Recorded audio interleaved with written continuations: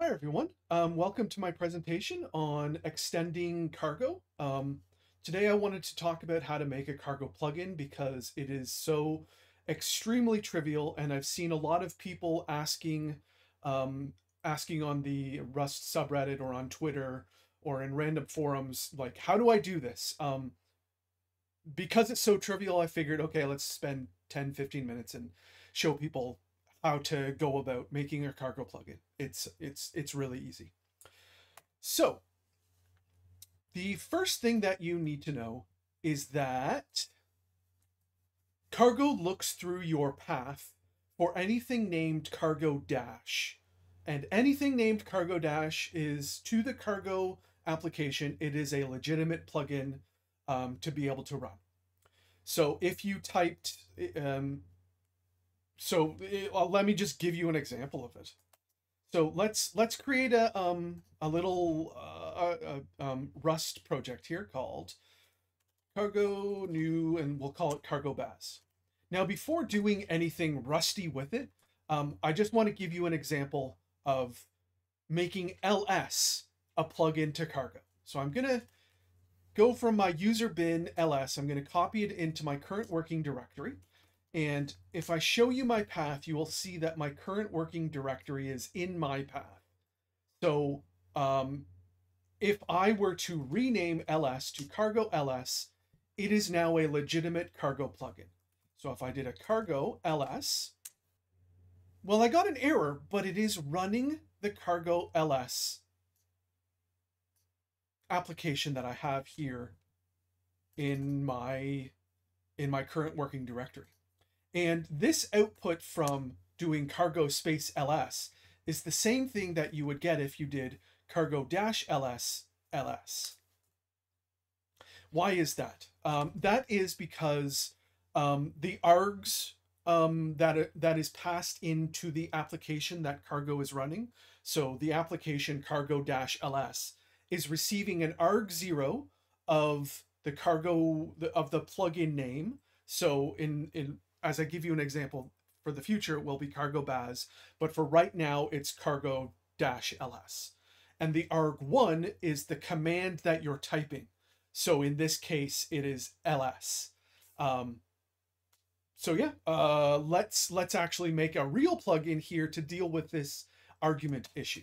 So let me open up my source main and we will first thing first things first, let's grab the args standard env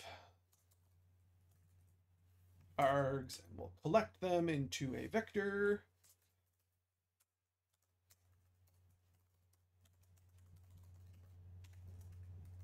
And then let's just, um, for uh, an enumeration of INA in args dot iter enumerate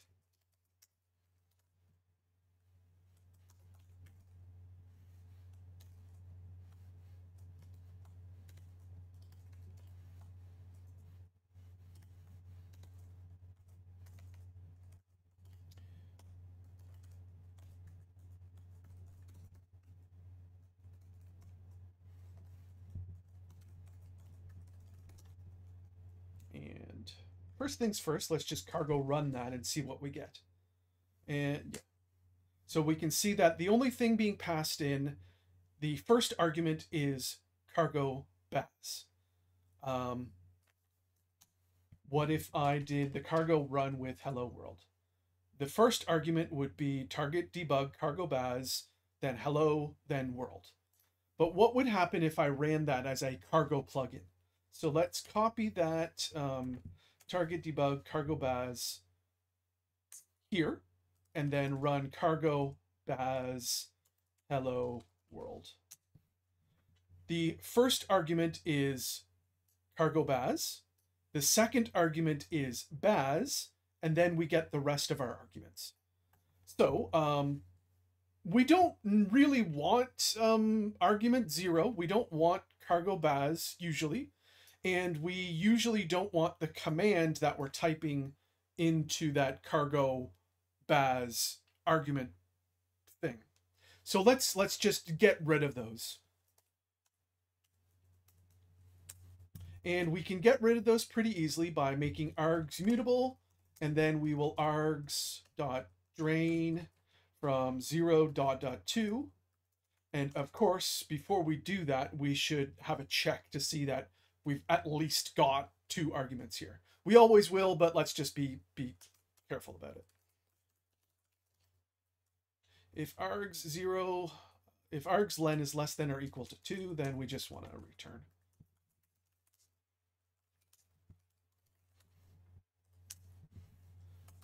So what would happen if I don't provide any arguments to the normal way of running target debug cargo baz? It will just escape because there is only one argument there. Um, but if I give it one argument,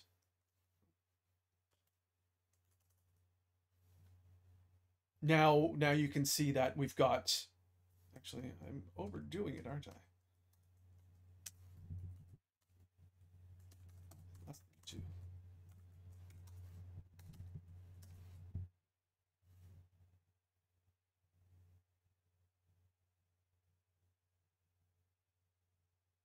Right. It is dropping it is dropping cargo baz and it is dropping the first thing because we're intent to making this a plugin.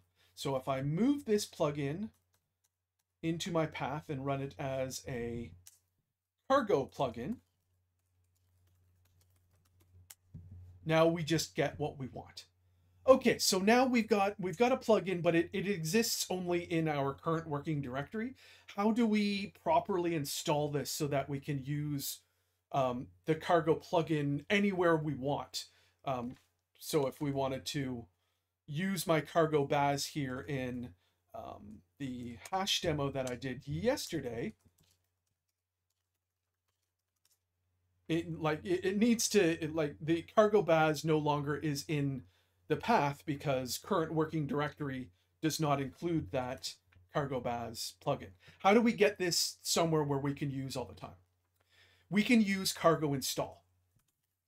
So what cargo install will do is it will um, compile up your Rust project that is intended to be a, um, a cargo plugin, and it will put it into the home.cargo.bin area. Um, so if if you were to kind of do this manually, you could you could do it yourself with with just copying in. Let's go back into the cargo baz area, and you can just um, copy in that cargo cargo baz into the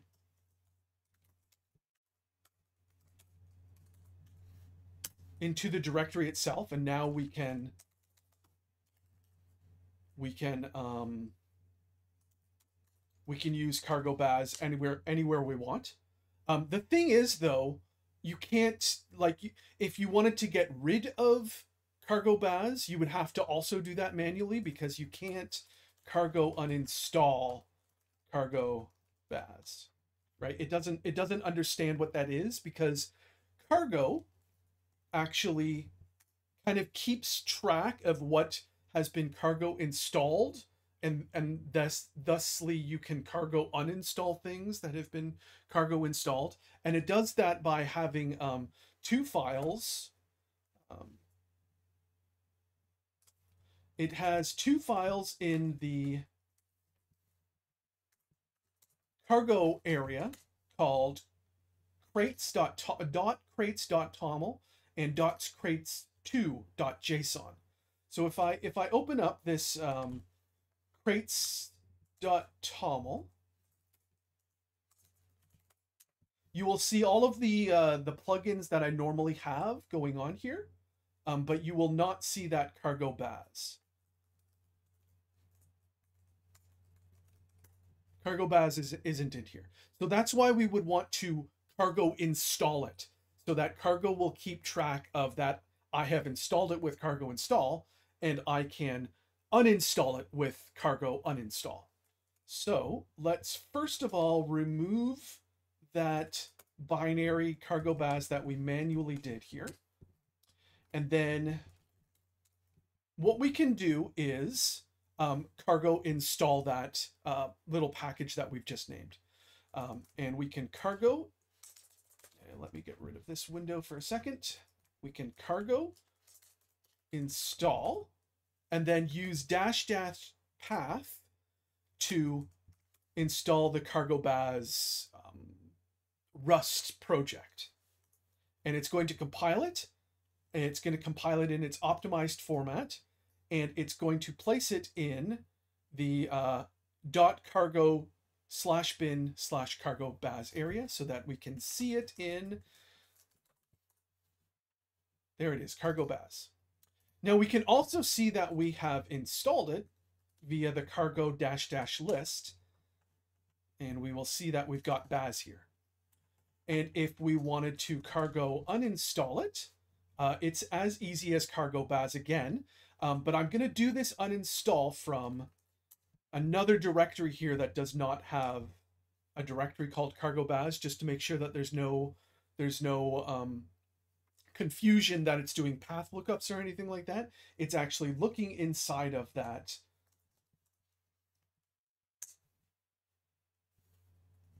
inside of that crates dot uh, dot crates dot toml thing. So there you can see that we now have cargo baz um, inside of this dot crates dot toml thing, and therefore we can cargo and uninstall cargo baz. Cool. Um, so yeah, uh, that's that's as easy as it gets. You just write a little plugin. You make sure you can get rid of the first two arguments, and you've you've got you've got a plugin. Uh, it's as easy as that one one more trick here one more little thing that you need to realize going forward um, let's go back into the other directory here so that we've got our cargo baz directory what would happen if i let me first of all cargo clean this and then i'm to move cargo baz to um, cargo bob. Okay. Now I'm going to cargo install from the path of cargo bob. Can I, what do I uninstall here? Cargo bob or cargo baz? Well, let's take a look at, let's take a look at that uh, crates.toml again and you will see that there is a cargo baz here. Why is that? should not be cargo baz. Did I not uninstall cargo baz? So what, what happens if I cargo uninstall cargo baz? So it removed cargo baz. Uninstall it. It's not there anymore. Um, let's install cargo bob. take a look inside of the crates.io. It's cargo baz again. What happens if I uninstall cargo bob? Oops. Uninstall cargo bob. No, it doesn't like that. Why is that? It is because the name comes from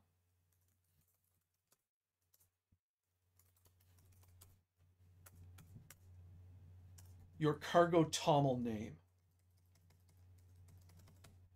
That's what it's using to understand the name here that, that you can install and uninstall. So I hope I've cleaned things up for you about how easy it is to make a cargo plugin. Obviously, the plugin that we that we did here just spits stuff out to the command line, but it is just a it's just an application that can do whatever you can do normally with Rust. You could make a plugin to run a web server. You could make a plugin to to do whatever the heck you wanted to. Um, yeah, so I hope you I hope you've learned something. I hope you learned something about Rust, about cargo. Um, and I hope you have a good day. Thank you.